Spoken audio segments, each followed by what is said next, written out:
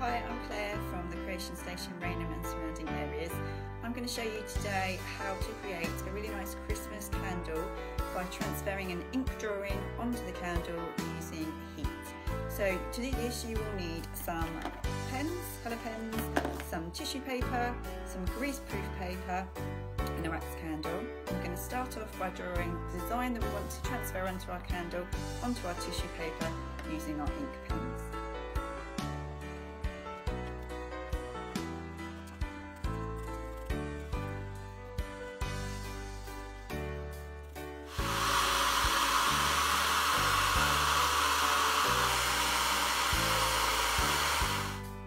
You've applied heat for roughly three to four minutes, you can see that the colour started to change on the greaseproof paper on top. You can peel off the papers and hopefully your design will have transferred onto the candle.